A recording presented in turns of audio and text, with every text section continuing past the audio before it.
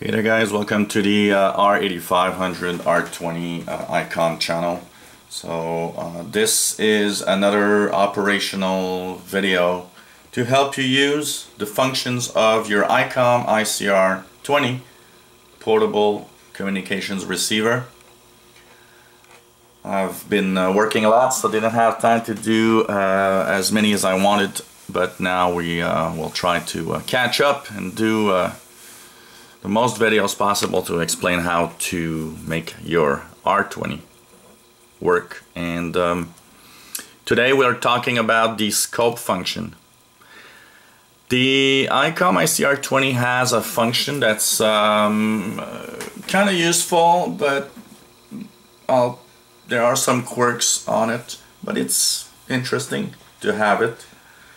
The um, scope function basically scans a frequency range and gives you little a little graphic presentation of the signals that are on each side of your center frequency. Now for example here I've tuned the um, medium wave AM broadcast band and put the uh, scanner at 600 kilohertz and I have stations here in Montreal that are in uh, higher in frequency. Nothing really below 600 so um, I'll use the uh, scope function and scan part of the band. Now how does it work? First of all you got to keep in mind that the scope works by scanning 14 steps. Why 14 I don't know. That's the way they just programmed the scope in the uh, scanner. So it means that it will jump 14 frequencies, 7 on the lower side, 7 on the higher side. So you have 14 steps. These steps are programmable. Um, you can actually choose the different steps and the level of the steps. So that's why the 14 steps means that you can scope as small as 14 kilohertz?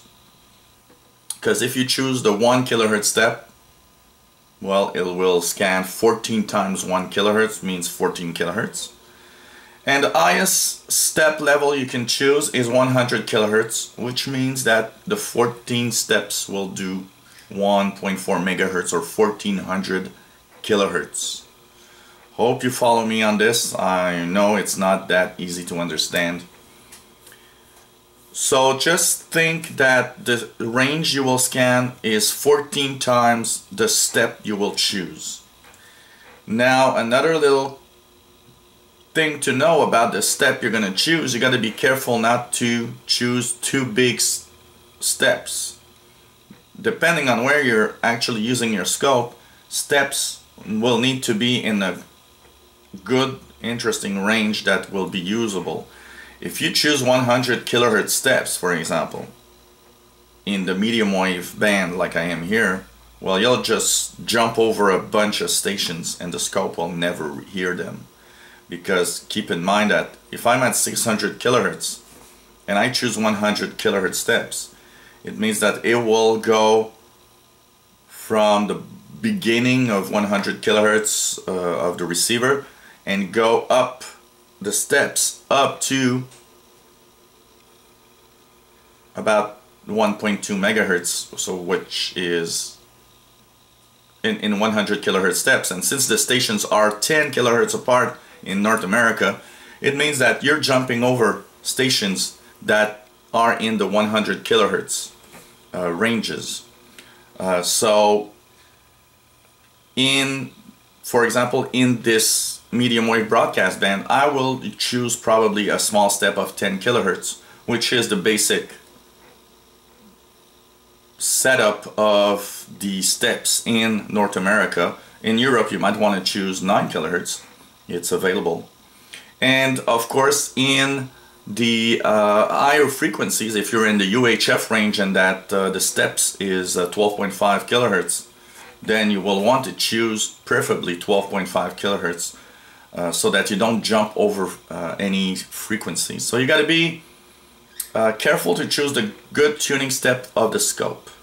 Now, how do you choose the tuning step for the scope? Well, you've got the number two button that has sweep on top. You press and hold, and with the right dial button, you'll actually, the right dial button here on the top, you can see the step, it says here that it's at 12.5 kilohertz. With the right dial button, I can change that 10, 9, depending on the step size that I want to use. So the lowest step size is 1.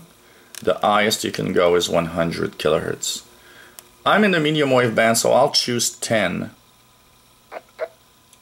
And here we go. Once it's done, you can let go of the button and you're actually going to see that it's going to sweep once and you'll see a little graphic representation at the bottom here with spikes. The spikes show you where stations are located. Now you can rescan that range if you want by pressing the scope button here, right here on the right. So when you press one time scope, it scans the whole range. And um, there's a little dot at the bottom here that's um, right in the middle showing you that's the center frequency. And this is the spikes that are higher or lower in frequency from where you are is a little white dot. It's not easy to see, but it's right here and I hope you can see it on the camera. I think you can because I see it when I look at the screen. So it means that what's below the little white dot is lower in frequency, so all the spikes are lower. And the spikes that are on the right side of the, the, the dot are actually in higher in frequency. So I have two little spikes here on the right side uh, matching probably some of the medium wave stations that I have on uh, frequency. So uh, I can actually take the tuning button and start tuning higher and higher and you see the little dot moves on the display. And once you're under a spike, here we go. Not get involved. Matthew Darsh. You see there was a station here, right below. If I continue, next spike is here. And so this is a way of actually finding all these signals that you've seen on the display, the graphic display here. So you can also scope, uh, use the scope and let it scan all the time by pressing and holding scope until it beeps. Uh, the scope now actually functions all the time. One drawback you can see that the scope does give you some really quick audio but you won't hear any stations you'll just see the spikes so you can't really listen while you're using the scope because it mutes the audio but it's an interesting feature to know what types of signals are available all around a center frequency so I'll change this and stop the scope by pressing scope. Now, I'll put the scanner on the 2 meter ham band, uh, 146.700 for example. Now, I want to tune around and see if there's something to listen to. Now, you can choose a small step of uh, 5 kilohertz and it's going to give you what's really close. You can choose a bigger step. Uh, like I said, be, fair, be careful because the bigger the step, the more you have chances of actually missing out on signals. So how do you do that again? Like I told you, you just press and hold the number two button where it says sweep. Right dial button we'll go and choose here, uh, for example, um, let's do 15 kilohertz, for example, just for fun of it. And you let go. And you can see it did sweep, but there's nothing to listen to. And if I scope, it's pretty quiet. I can press and hold the scope and let it scan. And if a signal actually shows up, you'll see a spike. So you can actually use what I did, the little trick that I did to um, go and see what signal it is. Um, um, let's go, for example, in the UHF range. Uh, if I go to 452.000 for example, right in the middle of the um, what is called the um, the commercial band here. So there's a signal on 452. You can see here I'm receiving a digital type of trunk signal.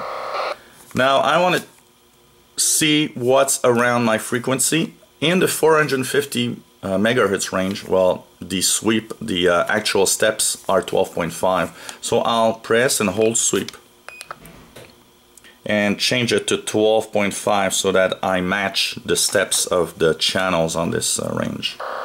And I'll actually press and hold the scope and see. Now you can see that there's a middle spike where the uh, digital signal is present. But what's interesting is it's like a little live thing here. So if you just leave it like that, you'll actually see that if other signals become present, they will actually spike on each side of the uh, frequency range. And once again, if you hear a signal that's somewhere else in the frequency range, for example, I'll change, you can uh, actually change the frequency while it's scanning. So you see here some spikes.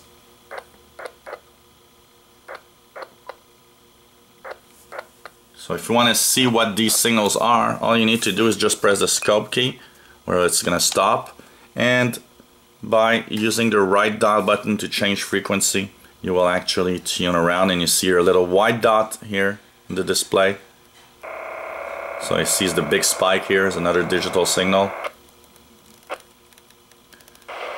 So this could be a very nice feature and knowing what is around to listen to on different uh, frequencies.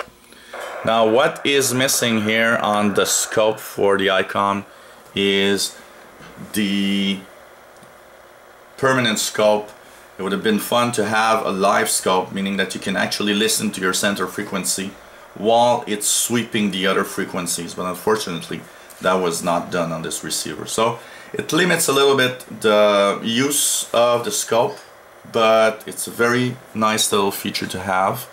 Uh, it's still there and so you can just put your radio on a frequency and start uh, tuning, uh, actually sweeping around the, the, the frequency range uh, to see if there's any other signals present. For example here, I'll scope here and so if other signals are present, they will actually show up.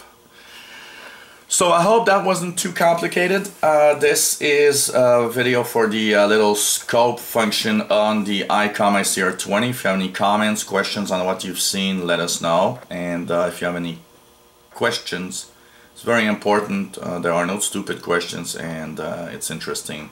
If you have any questions, I'll be happy to try and answer them. So hope you enjoyed these videos and thanks for watching 73s.